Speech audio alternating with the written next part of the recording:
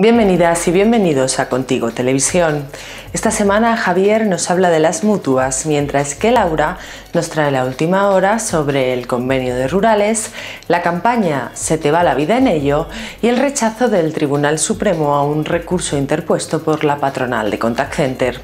Además, os hablamos de herramientas innovadoras para luchar contra la brecha salarial. Empezamos.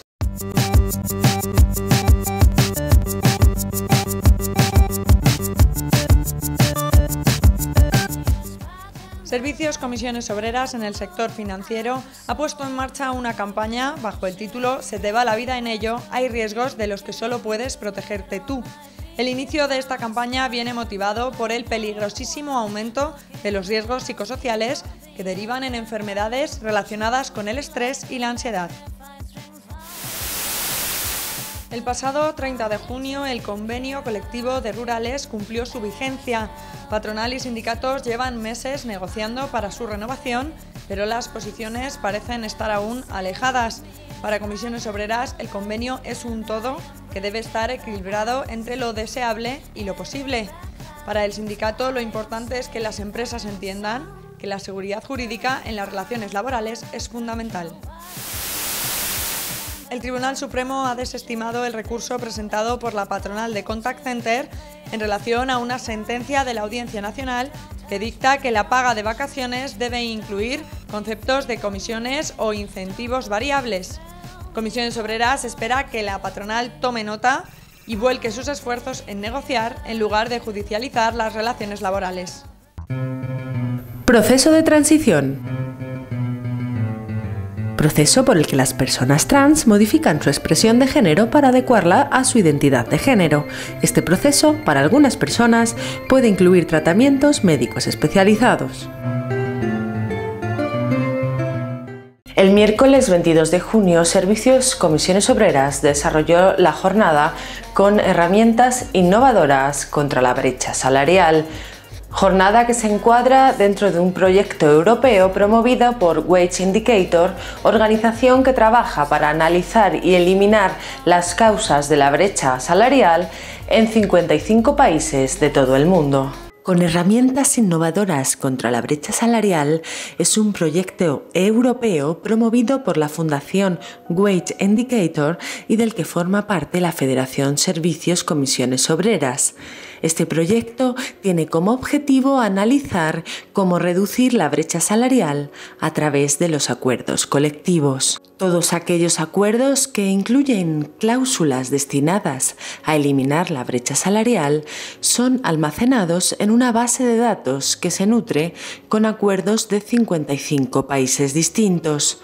Esta base, que existe desde el año 2012, está pensada para que los agentes sociales de todo el mundo compartan, comparen y se fortalezcan a la hora de luchar contra la brecha salarial. Empezábamos de cero y aquello, aquello era de ensayo y error que hacemos, por dónde empezamos, y lo que hicimos fue mirar quién tenía plan de igualdad y observar qué estaban haciendo en, otros, en otras organizaciones. Casualmente, el plan de igualdad en el que nos fijamos para redactar el nuestro fue el del Banco Sabadell y hoy estamos aquí en esta mesa, Banco Sabadell y Mutualia. O sea que hemos cerrado el círculo. Me ha gustado mucho poder decirlo públicamente porque de eso se trata, ¿no? De poner en común y luego pues cada cual ir haciendo no sé, adaptándolo ¿no? a sus necesidades. Esos procesos de maternidad hacían que las empleadas pues durante sus bajas maternales tuvieran un paréntesis. Y ahora lo que hemos acordado es que ese paréntesis salarialmente no va a perjudicar a la empleada, sino que va a ver cómo va a seguir percibiendo su remuneración variable. Si existe un cumplimiento propio por parte de la empleada, se tomará ese cumplimiento propio y si no, se considerará el cumplimiento de la unidad a la que está asignada para poder pagar esa remuneración variable para eliminar la superrepresentación que hay en los puestos de mandos y cuadros de la empresa y con ello la brecha salarial que existe en esos, en esos puestos, hemos, hemos pactado una medida que recoge que para el proceso, el proceso de selección del puesto de mando, en igual de condiciones, se tiene que escoger al sexo su representado hasta que alcance al menos el 40% de representación. Trabajar contra la brecha salarial es precisamente trabajar contra probablemente la desigualdad más flagrante y primera que se produce en el ámbito de nuestras sociedades. Y nosotros tenemos la magnífica capacidad y la magnífica herramienta que es la negociación colectiva, es decir, acordar con la contraparte el que se establezcan nuevas reglas, nuevas costumbres, mejores prácticas y una sociedad mejor.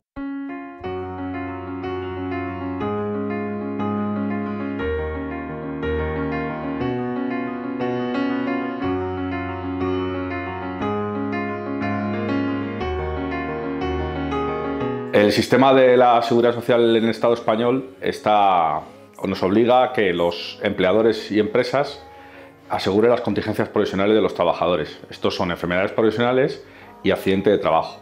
Estas contingencias pueden estar cubiertas por el Instituto Nacional de Seguridad Social, pero la mayoría de los empleadores o empresas eligen las mutuas que hoy en día se llaman mutuas de accidentes profesionales y, de accidentes y enfermedades profesionales de la Seguridad Social. Estas mutuas eh, son las que se encargan de, cubrir las contingencias y también de muchas más actividades. La mayoría de ellas también tienen sociedades de prevención que actúan como servicios de prevención ajenos en nuestras empresas. Es importante conocer la mutua que tenemos en nuestra empresa, intentar eh, conocer su sistema de funcionamiento. También podemos y estamos obligados a dar nuestra opinión a través de los comités de seguridad y salud y a través de los delegados de prevención sobre el funcionamiento de la mutua. Nuestra salud laboral depende mucho de las funciones que nos dé esta mutua. Por tanto, te invitamos a que conozcas la mutua de tu empresa, que participes en el sistema de salud laboral de tu empresa y que nos pidas consejos a la Federación de Servicios, tanto en las federaciones territoriales como en las sectoriales.